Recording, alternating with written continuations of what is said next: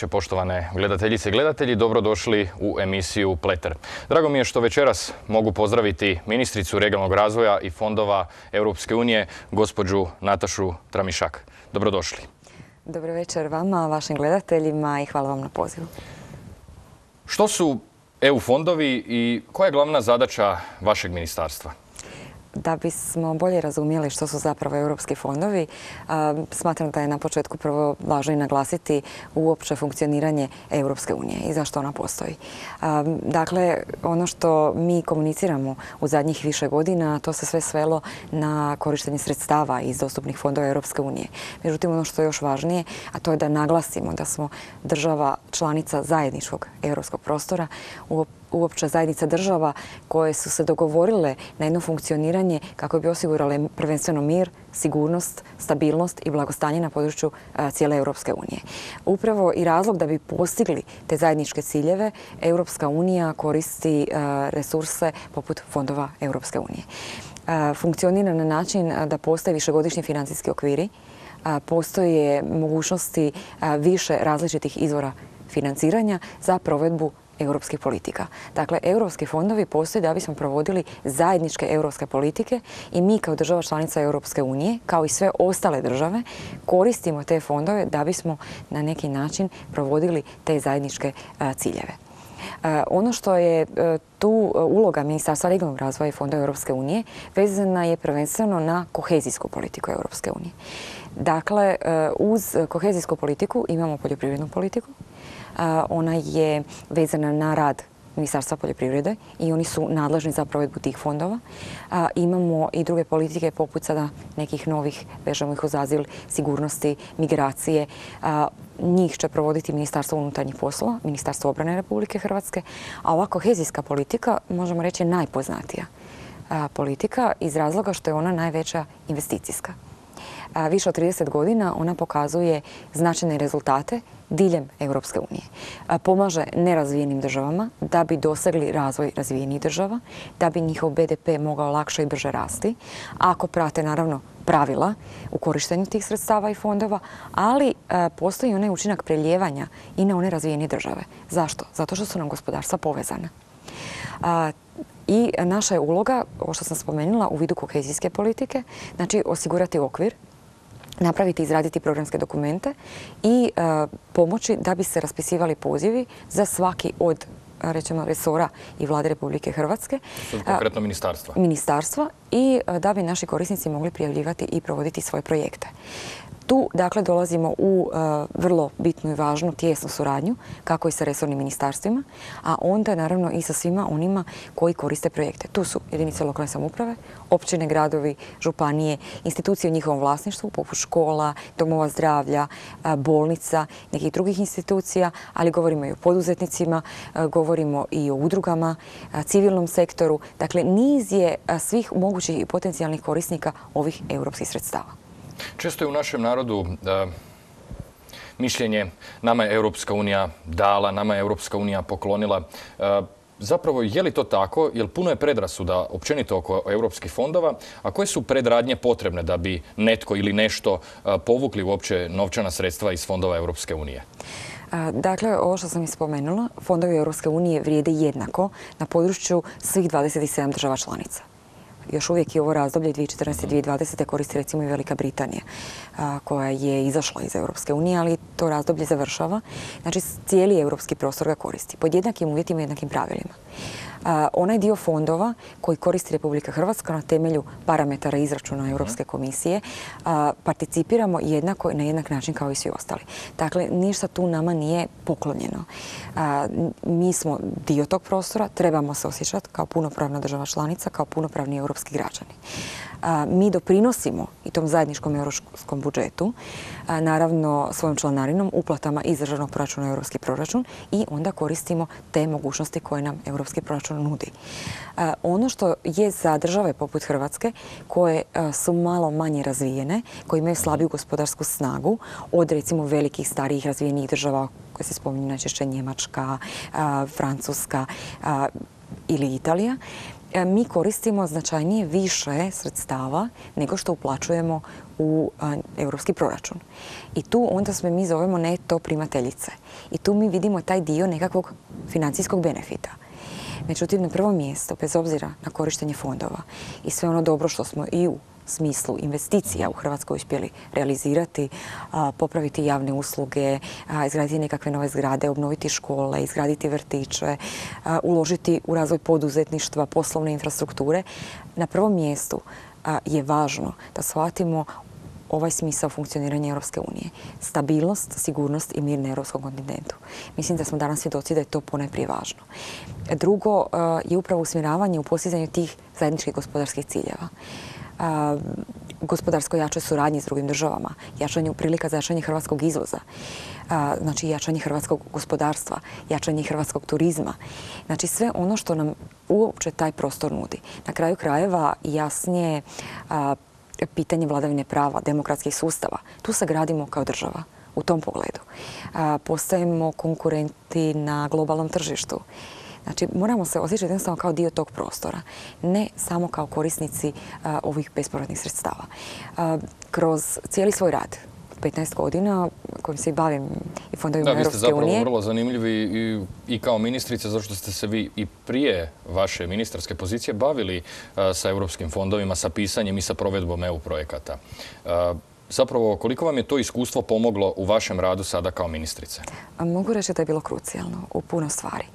Upravo iz ovoga što sam htjela reći. Kad ste vi na lokalnoj razini u jednom gradu ili općini i bavite se onim problemima koje su neposredno bitna za život vaših građana rješavate upravo to pitanje imate li dovoljno kapaciteta dječjeg vrtića, kakvi su vam uvjeti škole, imaju li škole dovoljnu opremljenost, jesu li digitalizirane, bavite se pitanjima dostupnosti zdravstvene zaštite, pitanjima razvoja poduzetništva. Vama su fondovi bili izvor financiranja još uvijek naravno jesu i bit će, ali tada, sad kad gledam prije 15 godina razdoblje, mogućnost da dopunite financiranje iz onoga što nemate iz vlastitog proračuna i da se brže, bolje i jače razvijate. Pripremate projekte i radite na tome. I to je ta smisa koja se tiče neposredno općina, gradova i naših samih korisnika. To je bilo vezano u prvom redu dosta intenzivno u posljednjih nekoliko godina, a i sada još uvijek za financijsku perspektivu 2014-2020. E, što se tu događa i koliko ste vi zadovoljni sa dosadašnjim sredstvima koje smo povukli u toj financijskoj perspektivi, a i možemo ih još povlačiti ako se ne varam do 2023. godine? tako je. Financijska perspektiva 2014-2020 s tim da rok potrošnje sredstava je 23. mi smo sada u ovom završnom periodu, dakle još godina dana nam je ostala da utrošimo sredstva koje imamo na raspolaganju. Trenutno je gotovo 80% sredstava realizirano, znači isplaćeno korisnicima. I tu su ti vrtići, škole? Tu su vrtići, škole, tu su poduzetnički inkubatori, tu su poslovni proizvodni pogoni naših poduzetnika, tu su novo stvorena otvorena radna mjesta, ali tu su realizirani projekti tipa socijalnih usluga u zajednici. Evo, danas smo imali prilike u Osijeku i prisustovati otvorenju jednog vrlo važnog i bitnog centra, Legosi u, zajednici, centar za nestalo zlostavljanu djecu. Jedan izvrstan, jedinstven primjer upravo tog pristupa rješavanju nekakvih socijalnih problema. Dakle, europski fondovi u Hrvatskoj više od 9000 projekata samo operativnog programa konkurentnosti i kohezija realiziraju je brojne, brojne dobrobiti za sve naše građane. ali ono što sam htjela sada ovdje istaknuti je da osim što smo 80% već realizirali projekate i iskoristili, ovih 20% je izazovno. Imamo još godinu dana velikog rada. Mogu reći da se s optimizmom gledam u zadnju godinu, jer je podatak da u posljednje dvije godine realiziramo 40% sredstava. Dakle, ovih 20% je tekako dostižno. Projekti su u tijeku, mnogi su i u završetku i vjerujem da ćemo vrlo ugodne rezultate zbrajati 2023. godine. Ono povlačenje iz europskog proračuna u državni proračun dolazi nakon toga. Mi prvo isplaćujemo korisnicima. I zato je nama ovaj prvi podatak važan. A nakon toga dolazi e, ovjeravanje one procedure koje se administrativno događaju u Ministarstvu regionalnog i idu prema Europskoj komisiji da bi Europska komisija u konačnici uplatila sredstva u državni proračun. Tu je također to važno naglasiti da ove fondove iz višegodišnjeg financijskog okvira i kohezijske politike prvo moramo predfinancirati vlastitim sredstvima kako korisnici, tako i državni proračun. Koliko je to problematično jedinicama lokalne samouprave? toga povlačimo. E, ovisi o vlastitim njihovim kapacitetima. Naravno, ako imaju projekte koji su nekoliko puta veći od njihovog vlastitog proračuna, da im je to iznimno teško. Tu smo im i pomogli fondom sa sufinanciranjem projekata u onom dijelu kojem smo mogli. Mhm. Kao ministarstvo milijardu i sto milijuna kuna je ugovoreno tijekom prošle godine jedinicama lokalne i regionalne samouprave. I vidimo da je to potaklo njih i pomoglo im da ubrzaju potrošnju i europskih fondova. Dodatno, neki od njih se kreditno zadužuju da bi predfinancirali projekt, pa taj kredit vraćaju kad im se vrate sredstva iz fondova. Ali jedno što sam htjela reći što je važno, da ovo sve prvo financira državni proračun. Kada odradimo sve procedure koje su potrebne, šaljemo ovjeravanje Europskoj komisiji. Nekad je to i godinu dvije dana nakon što se isplate sredstva onda europski proračun uplaćuju državni. I bez obzira na to, mi smo trenutno u plusu na tu veliku proceduru 68 milijardi kuna.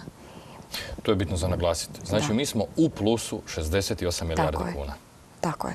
Za korištenje ove perspektive 2014-2020, a još očekujemo i sljedeću godinu, vjerujem da ćemo premašiti sigurno 90% iskorištenosti. Drago mi je što ste to spomenuli iz jednostavnog razloga jer mnogi dalje misle da mi više uplaćujemo u Europsku uniju nego što smo povukli iz Europske unije. Zapravo nama Europska unija kako koristi. Tako je. Kada, kažem, kada govorimo i o ovom smislu, one dobrobiti koje imamo za financiranje različitih projekata i sredstava koje primamo u državni proračun. Ali imamo isto i ono što nas sada čeka, što se često i govorilo u medijima i sam premijer Republike Hrvatske. EU fondovi 2021. 2027. financijska perspektiva, e, nove prilike. Što za Hrvatsku i njene državljane u prvom redu to znači? Kakve će koristi imati sami državljani, sami građani uz naravno institucije, jedinice lokalne i regionalne samouprave? E, to jest isto što neki često spominju u ovoj novoj financijskoj perspektivi, da smo već izgubili dvije godine, da kasnimo sa povlačenjem sredstava. To je stvara se nekakva priča da, da ćemo već dio tih sredstava moći prekrižiti ili ti zaboraviti. Što vi mislite o tome? sad kada govorimo o preklapanju dvije perspektive, znači završavamo 2014-2020 i počinjemo sa realizacijom 2021-2027. Bez obzira što se ona spominje za razdoblje od 2021. godine, važno je naglasiti da je Europska komisija tek početkom ove godine nama otvorila pregovaranje o korištenju tih sredstava. E, uredbe same Europske komisije koje vrijede na cijelom području Europske unije su usvojene e, sredinom prošle godine. Te uredbe su u biti najvažnije, one stvaraju pravila i okvir što se uopće može financirati iz europskih fondova. Nakon toga smo mi mogli predati naše programe i početi pregovarati sa Europskom komisijom. Proces pregovora traje. E, za neke države još nije završio. E, Hrvatska je među uspješnijim državama. Mi smo potpisali svoj partnerski sporazum u rujnu, odobren je 24. kolovoza, a pet država članica još nije niti predalo svoj partnerski sporazum. Također kada govorimo nakon partnerskog sporazuma, konkretnim operativnim programima, za koje sam osobno i zahvalna i zadovoljna u Ministarstvu regionalnog razvoja, svim svojim djelatnicima, ali i svim drugim ministarstvima koja su s nama sudjelovali, da smo kreirali programe koji odgovaraju i potrebama terena Republike Hrvatske, koji odgovaraju svakom pojedinom području Republike Hrvatske, prepoznaju naše različitosti, različitu razvijenost Republike Hrvatske, prepoznaju razliku od pomognutih područja, brdsko-planinskih područja. Izdvojili smo industrijsku tranziciju regija koje su slabije razvijene. Tu je po prvi puta sada i Slavonija dobila zaseban dio operativnog programa, ali isto tako i Jadranska Hrvatska i Sjeverna Hrvatska, gdje ćemo najviše sredstava upravo e, ugovarati u smjeru tranzicije gospodarstva, da bi se stvarali proizvodi nove dodane vrijednosti, neki novi brendovi, da bismo manje izvozili primjerice trupaca iz Slavonije, da bismo više proizvodili namještaja, da bismo u informacijsko-komunikacijskih tehnologijama bili još bolji i brži, da bismo proizvodili neke nove prehrambene proizvode. To smo sve nekako u, mogu reći, nekoliko desetljeća zaboravili. Da trebamo raditi na inovacijama, da trebamo ponovno stvarati upravo takve proizvode i proizvodnju diljem Republike Hrvatske. Tu mogućnost ima kako Slavonija, ali sjever Hrvatske i Jadranska Hrvatska za sebe. Imamo izvojene mogućnosti za naše gradove. Stavili smo veći naglasak na gradove koji su sjedišta županija. Po prvi puta... se povećala brojka s obzirom na financijsko razdoblje 2014-2020? Više gradova, više jedinica lokalne samouprave može sudjelovati u, samom apliciranju projekata? tako je. imali smo nekada četiri urbane aglomeracije. Mhm. gradovi Zagreb, Osijek, Rijeka, Split. Gradovi koji su veći od 50.000 stanovnika, pa su tu sa svojim područjem, pa su tu bili Slavonski Brod, Zadar, Karlovac, Pula uključeni. međutim, ostali gradovi nisu imali tu priliku. mi smo slijedom zakona o regionalnom razvoju obuhvatili cijelo područje Republike Hrvatske. Sada svi gradovi u Hrvatskoj kao sjedišta županija imaju vlastiti mehanizam gdje mogu ulagati u urbani razvoj. Od onih najmanjih gradova pa do ovih najvećih. Znači po prvi puta svaka županija ima takvu priliku. To su decentralizirana sredstva. Mhm. Način da jednostavno sa razine vlade, prvenstveno Europske unije, pa onda vlade Republike Hrvatske, spustimo i upravljanje tim dijelom sredstava iz fondova samim gradovima. Jako se veselim ovoj provedbi. To će biti jedan od prvih natječaja koji će biti raspisan za same gradove. Mi s njima također već dvije godine programiramo oni su pripremili svoje strategije koje su preduvjet da bi se mogli javiti Ministarstvu regionalnog, potpisati s nama sporazume i početi se pripremati za prve pozive. tu će biti zahtjevnih infrastrukturalnih projekata. Imaju li gradovi e, unutar svojih zaposlenika, djelatnika mogućnosti uopće raditi to kvalitetno i konstruktivno? Ili će morati, na primjer, uzimati nekakav outsourcing, vanjske suradnike, vanjske tvrtke? I koliko je to realno uopće u ovoj novoj financijskoj perspektivi? to naravno ovisi od grada do grada od jedinice lokalne samouprave jedne do druge. Neke općine znamo da imaju i zaposlene djelatnike, neke imaju svoje razvojne agencije, neke koriste vanjske suradnike, neke imaju zajedničke razvojne agencije, županijske su tu koje pomažu. svaki grad u biti ima tu obvezu i odgovornost da kreira projekte, da stvori timove koji će na njima raditi i da se onda nama prijavljaju za bespovratna sredstva. Dakle, mi smo ti koji su ruka podrške, koji otvaramo mogućnosti, ali na njima je da te kapacitete i stvore. Ono što mogu sada reći da pohvaljujem zapravo gradove u Hrvatskoj, jedinice lokalne samouprave. Zahvaljujući i njima govorimo o ovoj visokoj razini od 80% iskorištenosti sredstava. preko 9100 projekata je ugovoreno u Republici Hrvatskoj. Najveći broj je taj. izdvajaju? ovisi vam o veličini grada. Mhm. ja ne bih rekla da je to samo broj stanovnika. Ne bih ni rekla da je to samo pitanje i čelnika samoga grada. Tu ovisi o niz drugih okolnosti. Koliko imaju gospodarstvenika na području nekog grada, toliko su mogli biti uspješni. Koliko imaju drugih institucija koji su odmah prepoznale te prilike, koliko su bili spremni s projektima. I on dolazi naravno i taj dio financijskih kapaciteta. Mali gradovi imaju manje financijske kapacitete. Oni recimo ne mogu ići provoditi projekte vrijedne nekoliko stotina ili milijardi kuna. Ako mu je izvorni proračun 20 milijuna kuna. I naravno da oni idu e, korak po korak, projekt po projekt. Ili jednostavno vi morate imati vlastite resurse da biste takav projekt proveli. Naravno, grad što je veći, poput grada Zagreba, on naravno očekuje se od njega da nose nekakve veće projekte jer njihov proračun puno, puno značajniji i veći. Ili grad Osijek. imate gradova koji se pokazuju kao posebno dobri.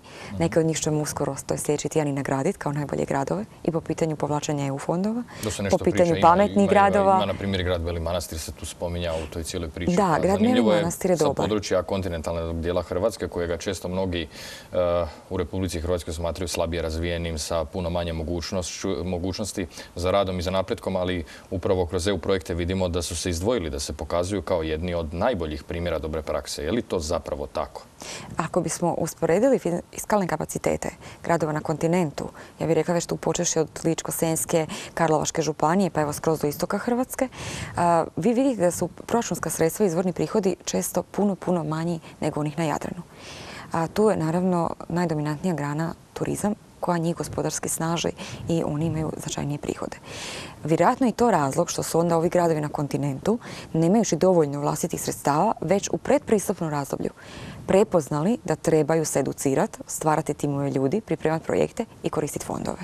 Tu su oni u početku iz tog razloga vjerojatno i zbog toga i bolji i uspješniji. Na vrijeme su te prilike prepoznali, shvatili su da ono što nemaju dovoljno prihoda ili gospodarstvo tu manje bilo razvijeno, manje je bilo zaposlenih, manje je bilo mogućnosti u tom vremenu da koriste sredstva i fondove da bi preokrenuli te trendove. Mi sada vidimo da se zaista i zahvaljujući tim potporama više od 8000 poduzetnika financiralo u Hrvatskoj, a imamo brojke da je u njihovim projektima više od 13.000 radnih mjesta novostvorenih. diljem Republike Hrvatske. Velik dio toga je i na kontinentu.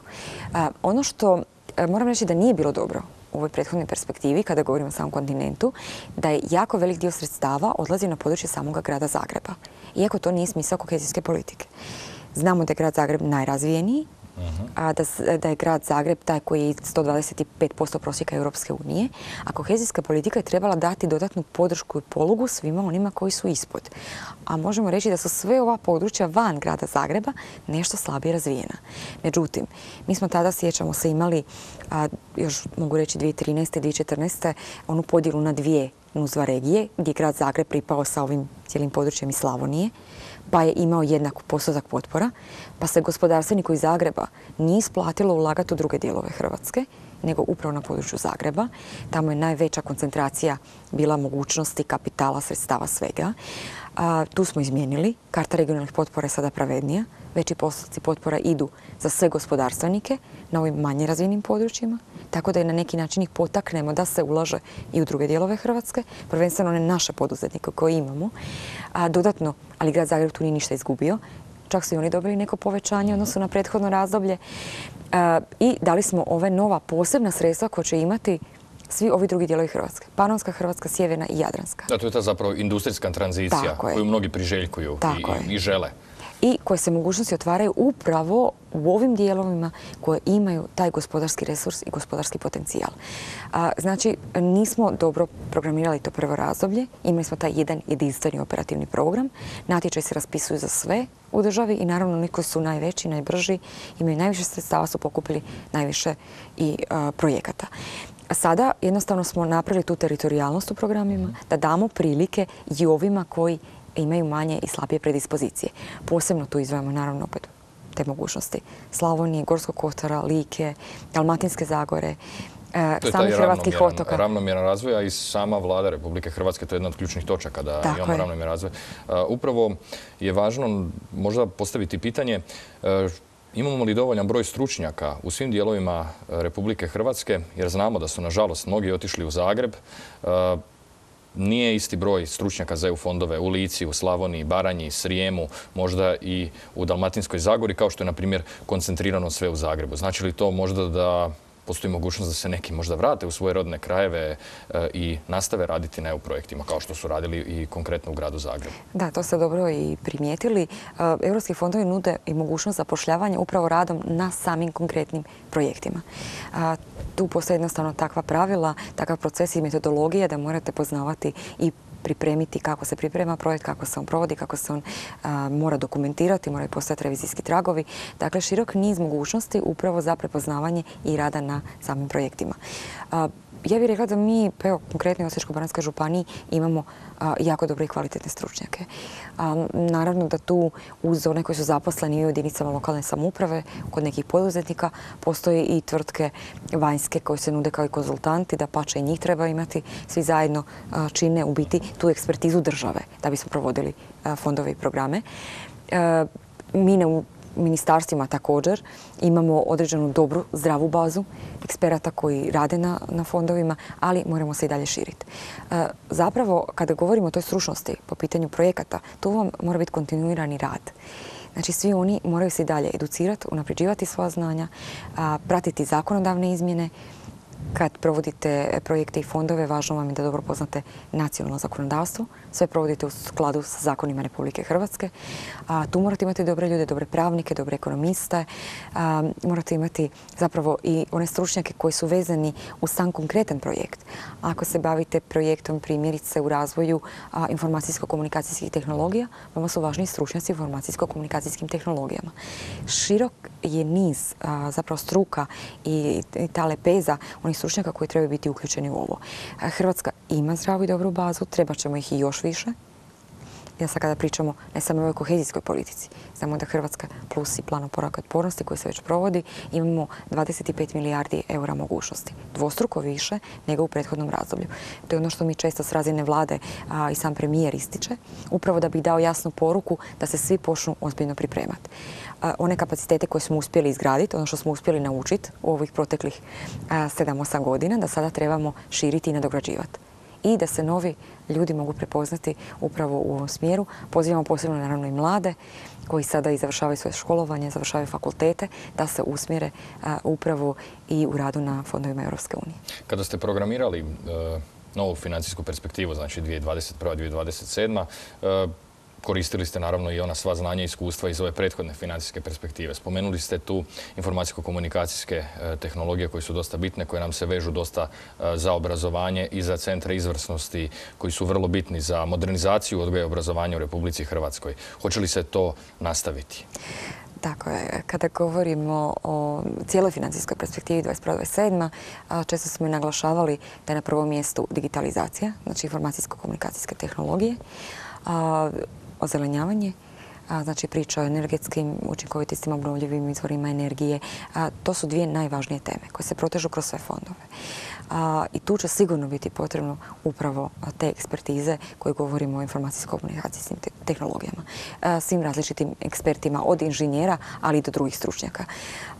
Vjerujem da već, pa i po podacima koje imamo, da naši mladi i kako imaju tu sklonost, da kako brzo usvajaju te znanja, i to mi je osobno veliko zadovoljstvo i čuti, da smo jako konkurentni na razini cijele Europske unije, ali da ih trebamo zadržati upravo u Hrvatskoj. Te mogućnosti im se nude. Svi oni koji sad već završavaju fakultete sigurno će moći pronaći svoje radno mjesto u Hrvatskoj upravo na ovim zanimanjima. Zanimanjima koja sada već nude kvalitetnija radna mjesta, više plaćena radna mjesta, a naravno i kroz korištenje svih ovih sredstava to će se i povećavati. Moramo spomenuti nekada davno Youth in Action ili ti Erasmuse. Mladi vole koristiti Erasmuse, koristili su ih, dušava korona je nešto naravno istopirala. imamo li u novoj financijskoj perspektivi tu isto mogućnost za, određen broj mladih ili će se ta brojka čak i povećati? Da mladi mogu otići, na primjer, u Španjolsku, Tursku, na razmjenu u Njemačku i učiti jedni od drugih ili će se to naravno sve bazirati na civilnom sektoru, na udrugama koje će aplicirati ili neće aplicirati e, takve projekte? Erasmus Plus, jedan od programa zajednice koji naravno se nastavlja. Sama Europska unija ga je prepoznala kao vrlo važnog i bitnog u procesu integracija Europske unije i svih država članica. Znamo da smo raznoliki, da govorimo brojnim jezicima, više od, odnosno točno 24 jezika na području cijele Europske unije i da su to prilike za upoznavanje različitih kultura, različitih država, načina funkcioniranja, izgradnje mladih upravo u tom smjeru svijesti da su europski građani.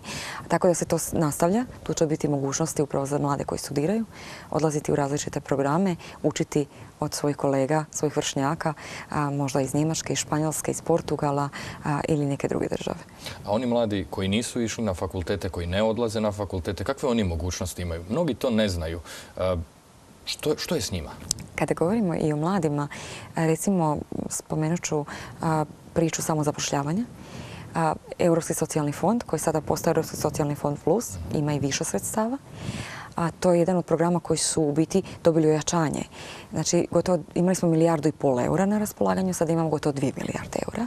Jedan od važnih dijelova tog programa su upravo i poticaj na zapošljavanje. Provode se preko Ministarstva rada i mirovinskog sustava i Zavoda za zapošljavanje, gdje oni mladi koji žele otvoriti nekakvu svoju poduzetničku priču, možda nekakav obrt, baviti se, reći sad, popravcima automobila ili evo obrt u smislu kozmetičkog salona, možda raditi računovodstvo ili neke od drugih stvari za koje su se educirali, otvoriti svoju slastičarnu, Znači oni mladi koji završavaju srednju školu, ali su vrlo vješti u tim strukovnim zanimanjima, imaju prilike nakon završetka proći nekakav proces edukacije, specijalizacije i onda dobiti priliku da postanu I lakše doći do strojeva, lakše doći do svih onih stvari potrebnih za rad. Upravo im se ta sredstva i nude da bi lakše otvorili nekako poslovanje, da bi kupili potrebnu opremu, opremili nekakav prostor i počeli sa radom.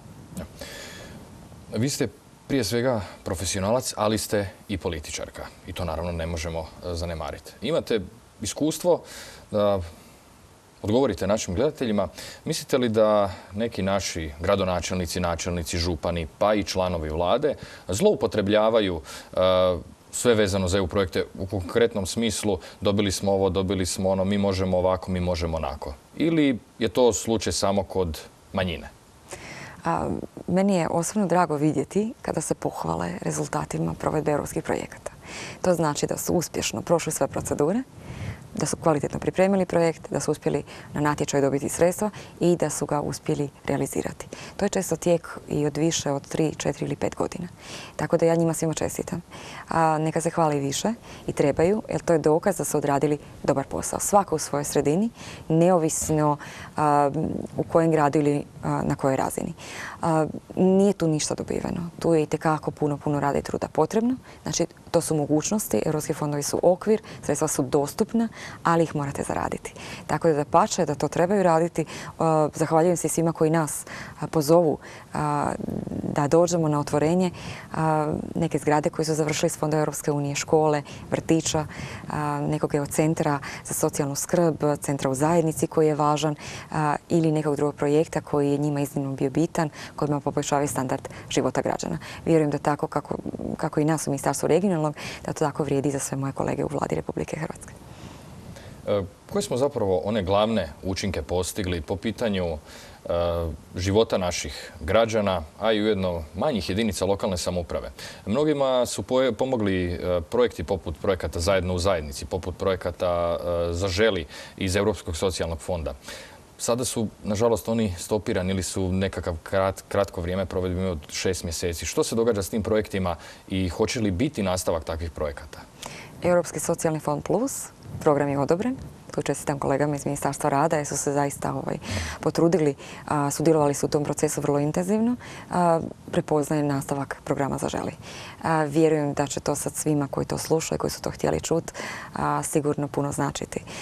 program Zaželi je jedinstven na razini cijele Europske unije. Upravo ga je i vlada Republike Hrvatske i osmislila i provela, evo i u prethodnom razdoblju. vidimo iznimne rezultate koji imao smisao da se pomogne starijim osobama u zajednici, da ostaju u svojim domovima, da ne moraju odlaziti u domove za starije i nemoćne, da imaju adekvatnu brigu, gotovo cijelodnevnu skrb i pomoglo je zapošljavanju nezaposlenih žena, prvenstveno u ruralnim krajevima. Tu vidimo zaista brojne dobrobiti tog programa, znači zapošljavanje žena, ostanak obitelji, pomoć prvenstveno ili majkama. Naravno i drugi su se mogli zaposliti, ali ovo je bila prva ciljena skupina, onima koji su dugotrajno nezaposleni i osobe starije životne dobi o kojima je sada neko mogao brinuti. Posebice ako su ostali sami, ako im je obitelj možda daleko, živi i radi negdje dalje, njima je trebala ta podrška i pomoć. Upravo tu vidimo evo, i kvalitetu toga rada na, na samim tim fondovima. Zaposlili smo i mlade stručnjake koji su i pripremali te projekte, koji su vodili te projekte i proširilo se cijelom Republikom Hrvatskom. Tu od strane Europske unije imamo pohvalu za organizaciju upravo takvog programa i takvog projekta koji je donio ove brojne dobrobiti i smanjio je institucionalizaciju. Znači cijeli smjer politika Europske unije išao u, tom pravcu, a mi smo pronašli model kako. Sad se vraćam na onaj znači, početak vašeg pitanja. Znači primjer dobre prakse u Europi. Tako je. Sad se vraćam na onaj početak pitanja fondovi. Da, prvo su europske politike, a onda mi kao država odgovaramo kako ćemo znači kroz provedbu tih projekata, fondova, onoga što je nama potrebno, doseći te ciljeve europskih politika. Znači mi prvo moramo jednostavno prepoznati što to Europa želi postići na razini cijele Europske unije. Prvenstveno kada govorimo o gospodarstvu. Ono što Europa želi je više inovacija, više produktivnosti rada, bolje plaćena radna mjesta. Sad, naravno da nama to u Hrvatskoj također su potrebe i to isto želimo i mi sad prateći te njihove politike kreiramo kroz fondove programe kako će se naši poduzetnici moći javljati na natječaj, koristiti sredstva da bismo to postigli.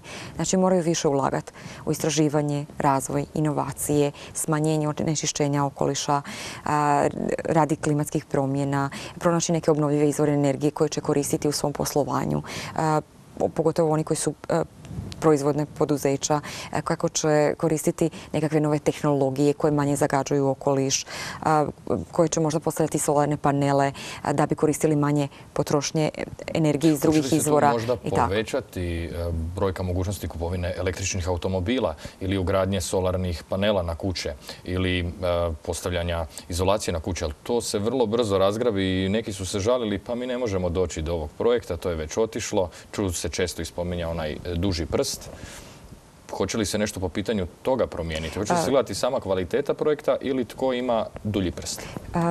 Kada smo spomenuli obiteljske kuće, prvenstveno to se financira iz državnog proračuna. Znači sve ono što je do sad bilo, Europska unija ne financira, opet vraćam se na europske politike, znači ne financira privatne obiteljske kuće ili privatne domove. Znači tu iz proračuna Europske unije ne možete koristiti ta sredstva.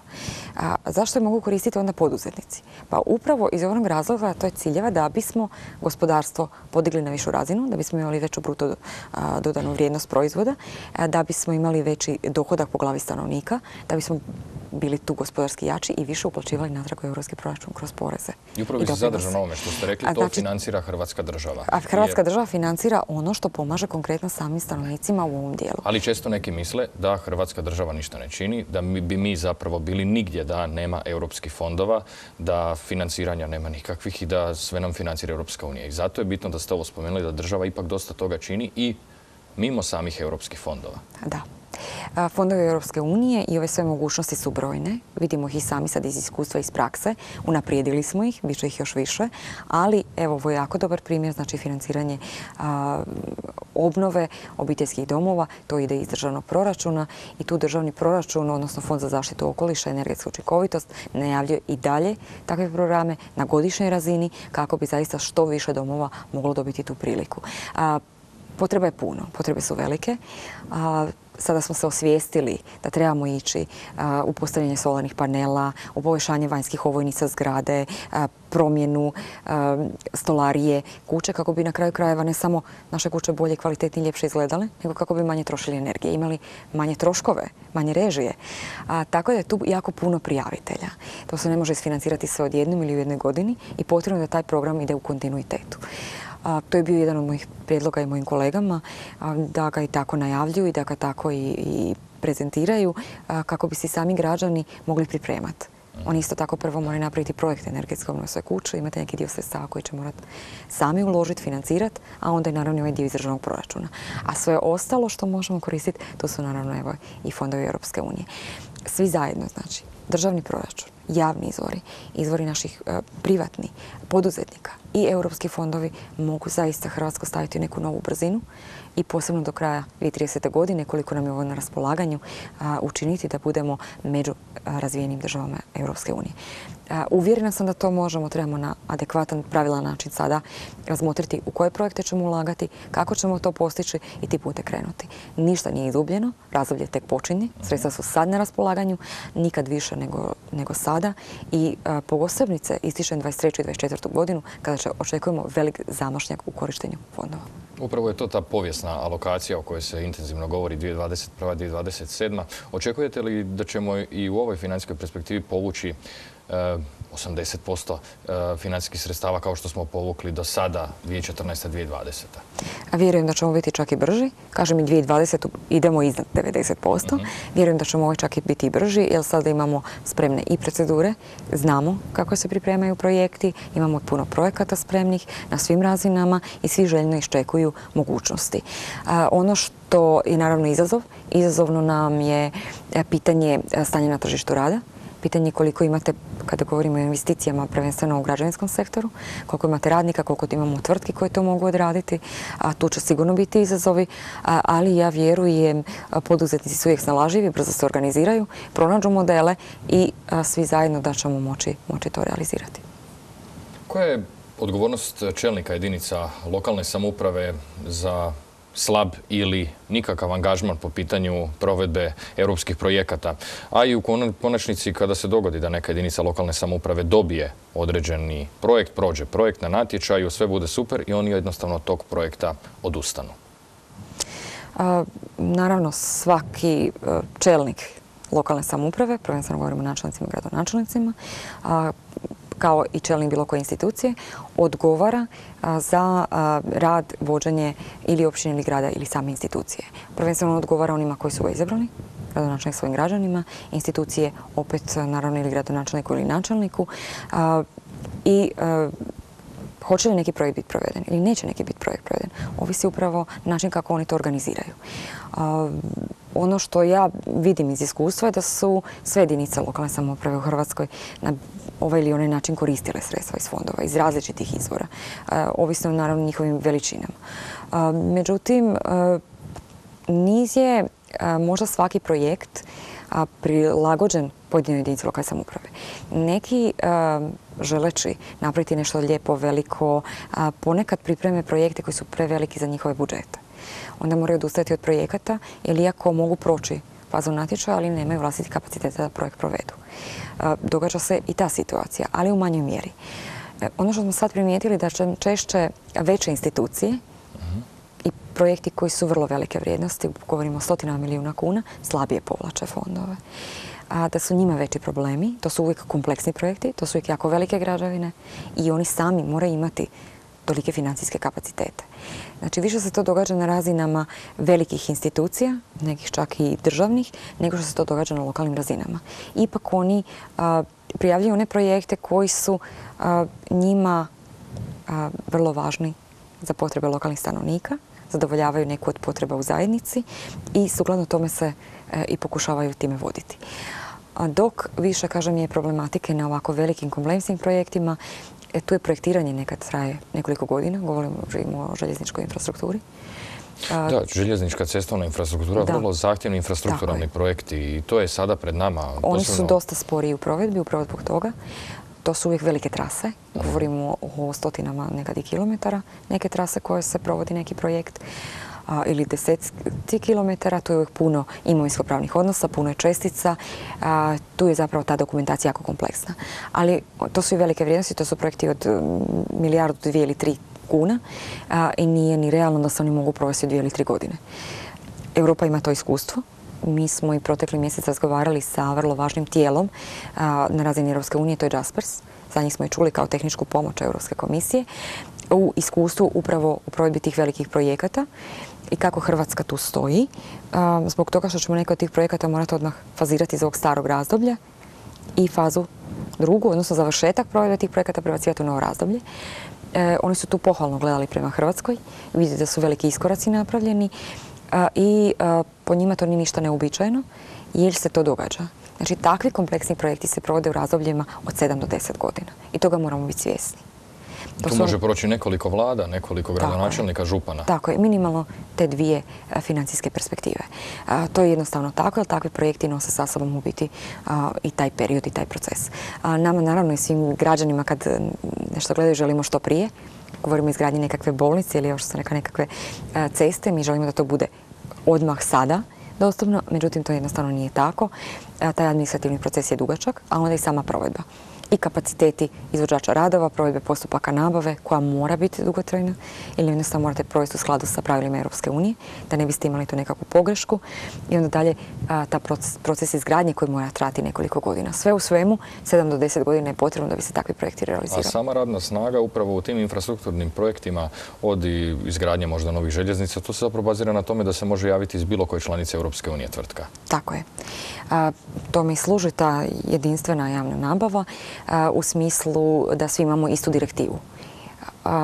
Naš zakon o javnoj nabavi... Tako i hrvatske tvrtke se mogu znači javiti, na primjer u Njemačku i Austriju. Tako je. Naš zakon o javnoj nabavi uskladio s Europskom direktivom koja traži da se sve veći vrijednosti projekata, posebno ovih infrastrukturnih, ali tu i drugih, naravno ako imate nekakav izradu nekakve studije, nekakvog elaborata koje veće vrijednosti, raspisuju u elektroničnom oglasniku nabave na razini Europske unije tu sve tvrtke na području Europske unije dobiju informaciju znači koje se bave određenom gospodarskom djelatnosti, da se u tom smjeru raspisao poziv i da se one mogu prijaviti. Dakle, to je široko otvoreno tržište.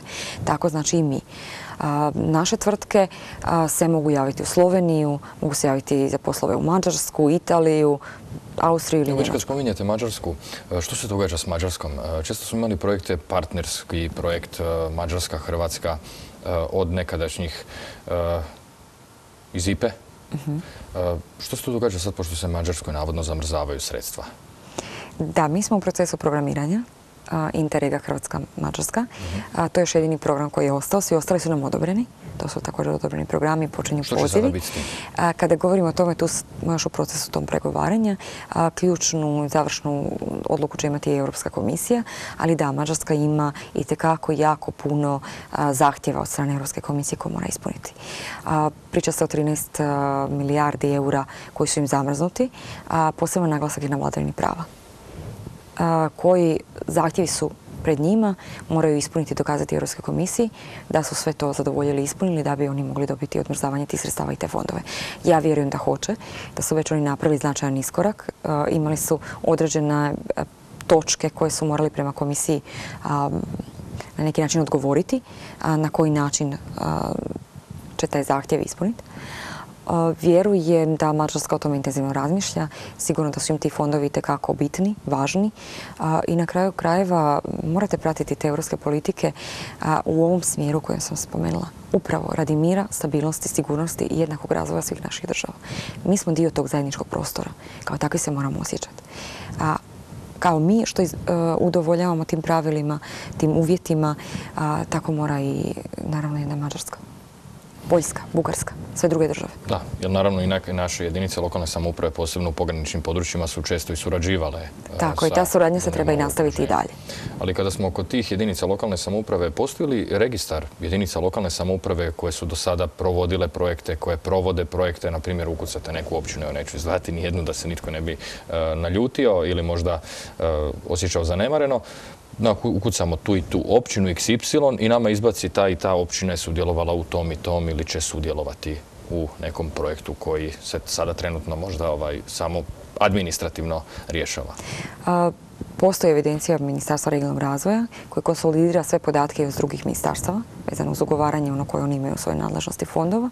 Tako da mi imamo informacije i uvide za svaki grad, za svaku općinu, za svaku županiju koliko sredstava je povučeno na to područje. Ali ono što je dostupno recimo i svim korisnicima javne ili svim koji su zainteresirani, upućujemo i na portal Europske komisije kohezio.eu gdje detaljno iscrpno imate sve informacije. Ne samo gradima i općinama u Hrvatskoj, nego na području cijele Europske unije, pa i u konkretnim poduzetnicima i o tvrtkama koje su možda sudjelovale na nekim od natječajima. Dakle, Europska unija je to napravila, tu bazu za cijelu, a, cijelo svoje područje, tako da i mi to koristimo. Znači, imamo ga, taj alat postoji, nema razloga da ga već ne koristimo jer je dostupan jednako putem interneta. Ali pozivam sve evo da ga pogledate, jednostavno je za korištenje. Mi objavljujemo također informacije na strukturnim fondovima. E, Po završetku svakog natječaja, dodjeli ugovora, sva ministarstva su u obvezi da objave listu projekata i e, onih e, ugovaratelja tih projekata na pojedinom natječaju i kažem mi vodimo dodatno naravno evidencije i baze o svim projektima. Postoje, i neke jedinice lokalne samouprave koje su osnovale same svoje razvojne agencije, ali postoje naravno i neke koje to ne mogu osnovati ili nemaju znanja ili nemaju vještine, ali u konačnici možda i nemaju financijskih e, sredstava. Što se svima njima? Kome se oni zapravo obraćaju? e, kada žele aplicirati na nekakve u projekt privatnom sektoru ili postoje e, ministarstva, na primjer županije kojima se oni mogu obratiti. Ministarstva nikome ne mogu pisati projekte. To je jasno, mi smo ti koji stvaramo okvir, otvaramo taj natječaj i onda ministarstva su odgovorna za proces transparentan evaluacije tih projekata. E, Oni koji mogu pomoći su županije, županijske razvojne agencije, svaka županija ih ima, rade jako dobro, imaju dobre timove, imaju bogato iskustvo. Može im pomoći razvojna agencija susjednog grada ili općine, također gdje se mogu obratiti i naravno mogu angažirati nekakve tvrtke vanjske koje im u tome mogu pomoći. Kažem, svi su oni važan dio tog sustava. Mi smo ti koji daju informacije, najavljuju natječaj, pripremaju procedure i tad vode transparentan proces dodjele. A oni su ti koji se moraju zapravo pripremiti sa projektima i organizirati kako i na koji način će to napraviti. Znači imaju mogućnosti od ovog što smo spomenuli, oni koji su zaposleni kod njih u njihovim tijelima, pomoći susjednih općina, gradova, županijskih razvojnih agencija, vanjskih suradnika, vanjskih konzultanata da bi prijavili projekt. I vrlo vrijedno to rade. Nam zaista ovi velika brojka projekata i govori. Mi taj problem, mogu reći, nemamo u smislu da netko je onemogućen u nekakvoj prijavi. Više je ovo što sam rekla pitanje fiskalnog kapaciteta da provede projekt. Ako imate a, 5, 10 ili 20 milijuna kuna vaš vlastiti izvor i proračun, vi se sukladno tome i krećete u vrijednosti projekta koji možete prijaviti. Vi ne možete prijaviti projekt od 100 milijuna kuna. Jer jednostavno nemate fiskalne kapacitete da ga možete provesti. U takvim situacijama, ako se to i dogodilo kod prijava, tu se vidite jednostavno ni moraju odustajati od provedbe projekata. ne možete dobiti sredstva, ne možete dobiti sredstva od naprijed. vi morate provesti projekt sukladno procedurama, cijeli sustav upravljanja i kontrole mora pratiti provedbu, jeste li proveli to namjensko sukladno pravilima i onda periodično možete dobiti povrat sredstava. To je važno za naglasiti. U ovim fondovima i kada ovo pratimo, prvo morate imati kapacitete vlastite, provoditi projekte sukladno onim mogućnostima vašim koje jesu i onda periodično pravdate provedbu projekta.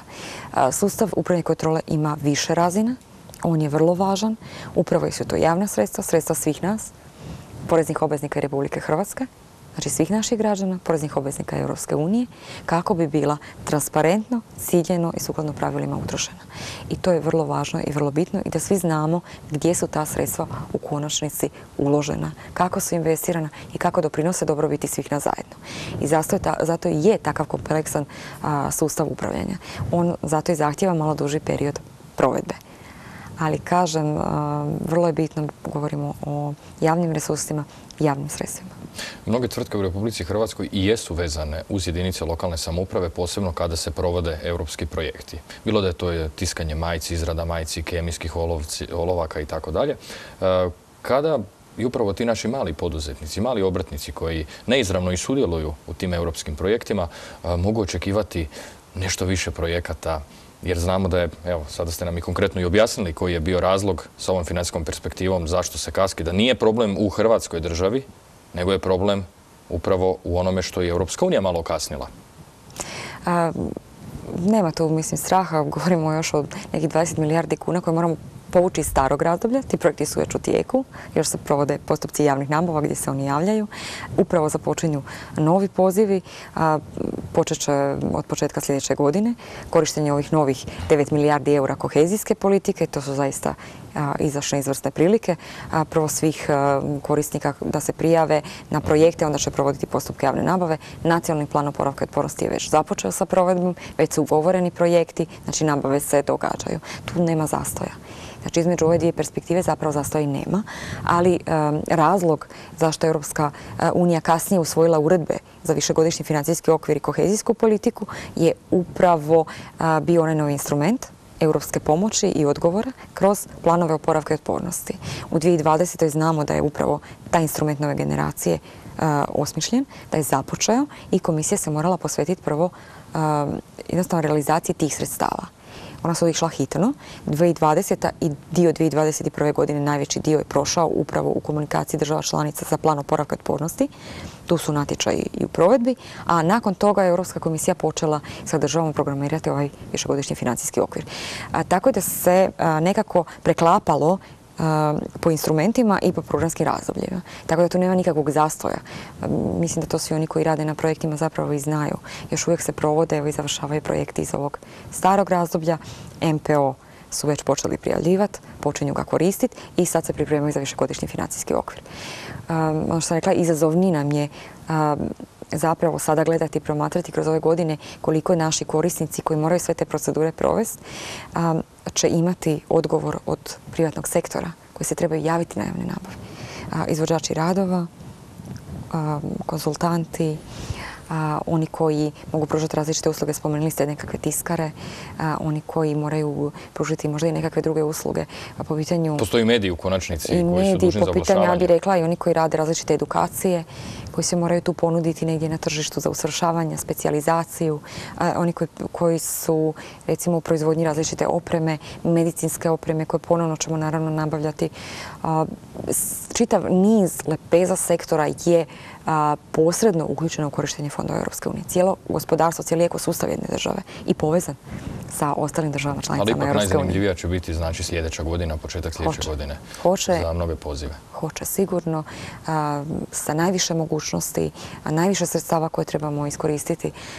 tako da pozivamo sve da prate, pripremaju se, a fokusiraju se i da svi zajedno budemo jednostavno dobri, bolji, učinkovitiji i povučemo sva ona sredstva koja su na raspolaganju. A i da budemo najbolji u Europskoj uniji, ako je to ikako moguće. Tako je, a već sada, kažem, zahvaljujući tome što smo brzi, u smislu učenja. Hrvatska je puno naučila. Mi smo preskočili 12 država članica u korištenju fondova. 12 država? Da, o tome se malo govori, to je najčešće ono što je pozitivno, jel? nema baš tako puno odjeka, ali 12 država smo preskočili ove godine i za nas je ostala recimo jedna Italija ili Belgija. I neke druge veće puno države koje su slabije iskoristile sredstva u postotku od nas. Belgija sjedište svega je ostala iza nas. Na jedan drugi način oni pristupaju u korištenju tih sredstava, ali ovo što kažem, mi smo bili svjesni da su nam ona važna i bitna, da nadomjestimo one financijske resurse koje sami nemamo i da pokušamo što više svojih potreba upravo isfinancirati iz Fonda Europske unije. Slijedimo politike, ali onda gledamo da se to nekako približe onome što mi zaista trebamo u Hrvatskoj kako ćemo to realizirati. Zato smo mi gradili puno vrtića. Zato smo puno i radili obnova škola jer nama su i same zgrade škola bile dosta dugi niz godina a ne obnavljane, devastirane. Energetska obnova je nama bila prilika mhm. da škole zapravo infrastrukturno obnovimo, da uložimo u njih, popravimo im krovišta. Ali vrtići posebno, evo njih ste spomenuli. Da, posebno ih izgradimo. Da dođemo do svih mjesta u Hrvatskoj, da osiguramo gotovo svoj djeci u Hrvatskoj mogućnost da imaju dječji vrtić. Time osiguravamo majkama u obiteljima da mogu pronaći posao, da mogu ići raditi. E, oni koji su malo malo manje imali tih mogućnosti, od žene koje su bile manje obrazovane su mogle raditi u programu za želi. Neke od njih su se i kroz program za želi dodatno mogle educirati, prekvalificirati nekakva nova znanja. Nakon toga se zaposliti u nekakvim novim zanimanjima. Ali su dodatno radnog staža jer nisu možda imali dovoljno dobro mirovinu također i to. Znači, bilo je različitih tih efekata koji su sigurno važni i bitni, zato i vidimo da već u Hrvatskoj, mislim da se osjeća ta snaga pripadnosti zajednici europskih naroda. to je jako dobro. Naravno da su uvijek ključ ta financijska sredstva, ali kažem još važnije sigurnost, stabilnost, mir, vladavina prava i sve ono što zapravo Europska unija nosi sa sobom u sljedećem razdoblju zapravo bih voljela vidjeti najviše naglasak na rast razvoj gospodarstva, oživljavanje hrvatskog prostora. Tu smo posebno u Slavoniji, govorimo o nekoj industriji koju je Slavonija imala, koju imamo ponovo prilike oživjeti, opet biti predvodnici u proizvodnji hrane, barem na razini Republike Hrvatske, tu samodostatnost, onda potencirati naravno izvoz, proizvoditi kvalitetne prehrambene proizvode. naša zemlja je itekako plodna, tu možemo se nametnuti. Spomenula sam proizvodnju namještaja. A, metalurška industrija koja ovdje može ponovno zaživjeti, proizvoditi nekakve nove tehnologije, neke nove strojeve u kombinaciji sa IT sektorom, sa kreativnom industrijom. ali sve ovo što sam spomenula imaju i druga područja Hrvatske, koristeći one vlastite resursa koji postoje na tom području. to je ono što sigurno uz ovo javno, uz ovo javnu infrastrukturu, javne usluge bih htjela vidjeti u ovom razdoblju, a to je veći naglasak upravo na rast i razvoj gospodarstva i to upravo u svim ovim dijelovima Hrvatske koja nisu dostigla te mogućnosti, nisu iskoristila sve što su mogla, da upravo njima usmjerimo puno, puno više sredstava i damo tu značajnu potporu. Rast i razvoj, poštovane i drage gledateljice i gledatelji, Zahvaljujem vam se što ste nas gledali i što ste nas pratili. Zahvaljujem se našoj gošći, ministrici regionalnog razvoja i fondova Europske unije, gospođi Nataši Taramišak. I nadam se da ćemo svi biti upućeniji u ono što Europska unija je nakon ove današnje emisije. Hvala vam. Hvala i vama. Lijep pozdrav.